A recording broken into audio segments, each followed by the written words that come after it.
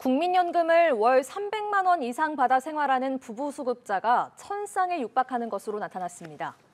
국민연금공단에 따르면 올해 3월 기준 국민연금 부부 수급자는 64만 5천여 쌍으로 이들의 합산 평균 연금액은 월 98만 원 가량이었습니다.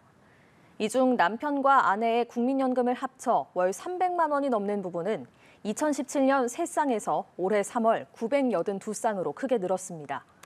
국민연금은 가족이 아닌 개인별로 가입하는 만큼 부부가 모두 가입하면 아내와 남편 모두 노후에 각자 숨질 때까지 연금을 받을 수 있습니다.